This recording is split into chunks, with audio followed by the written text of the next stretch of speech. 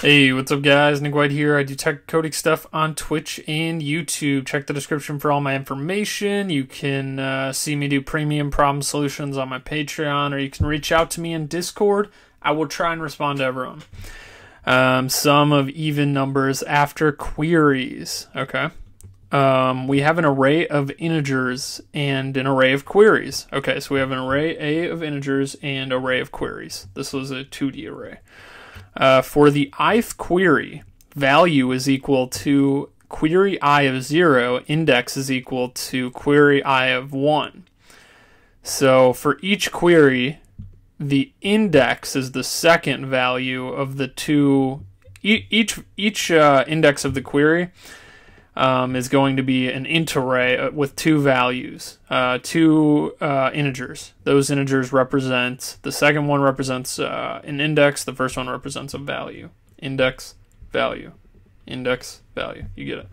Um, we add val to a of index. Okay, so we have to add the value, which is the first number of each uh, little subarray to the second integer index. So a of 0, which is 1, we have to add 1 to. So a of 1, which is 2, we have to add negative 3 to. a of 0, which is 1, we have to add negative 4 to, etc. You have to add the value to the index in this array. Okay, I think you guys get it. Um, what does it say after that? Then the answer to the ith query is the sum of even values of a. Okay, and then we want to output the sum of all the even values in a. So the even values in a right now are 2 and 4, right? So it's 6.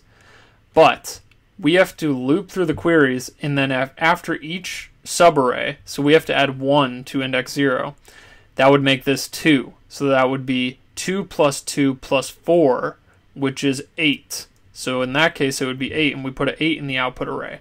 So this output array is going to be equal to the length of the queries. So there's 1, 2, 3, 4 queries we have to do. So it's the sum of even value, uh, values after we apply each query. So after this one, the sum of the even values is 8. Uh, then after this one, we do we add negative 3 to this 2. So it's 6 because we lose an even value because 2 becomes negative 1. Then we have to add negative 4 to 0.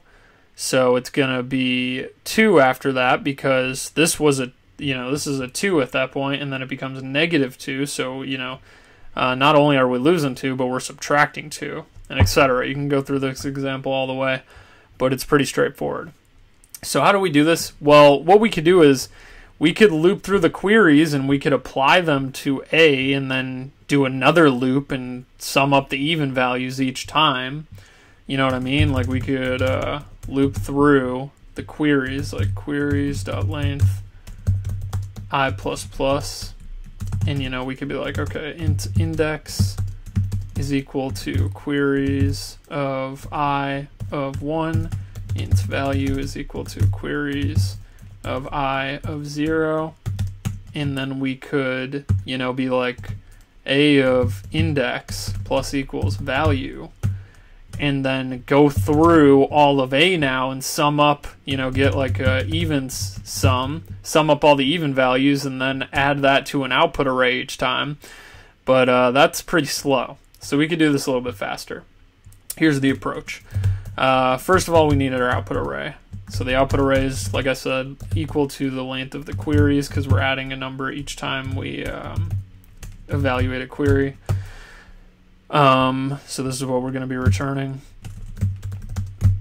And the approach is to get the even sum before. So we're going to get calculate the sum of all even numbers in the array. So we'll loop through int uh, val in a um, if val mod 2 check if it's even. If the current element in A is even, we'll add it on to our even sum. So we have the even sum now. This loop right here gets our even sum. Okay, now we can use this within this loop. So we're evaluating the queries now. What we can do is we can say, okay, we have our value, our index. If the current, if the in, if the uh, value in the array that we have to modify, if that is even right now, well then let's subtract it from our even sum because we're going to be changing it. So let's subtract a of index from the even sum we have. We're going to be changing this value in the array.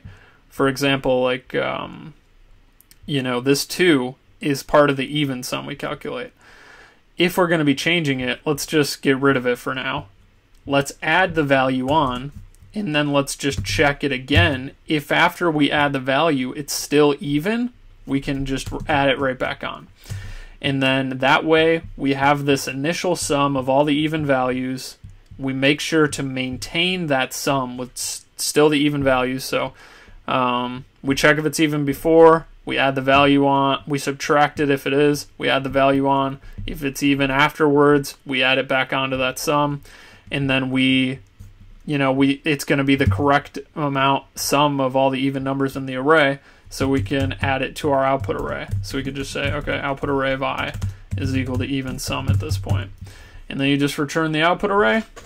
And, um, you know, that's uh, pretty much the problem. int cannot be converted to boolean because I always mess up at least once. Uh, just a generic for loop, you know, always messing up. There you go. So that was the problem. The uh, time complexity is if you count n, O of n, to loop through all these numbers and calculate the sum of all the even numbers at first. So that's O of n. And then we could count this as m, if you want to count queries as m. So O of n plus m. So, you know, depending on what the sizes of these are, uh, it's pretty good though, you know. So that's about it. Thank you guys for watching. I really appreciate every one of you, every last one of you all the viewers, and uh, let me know if you have any questions. Pretty pretty straightforward problem. Um, that's it. All right, see ya.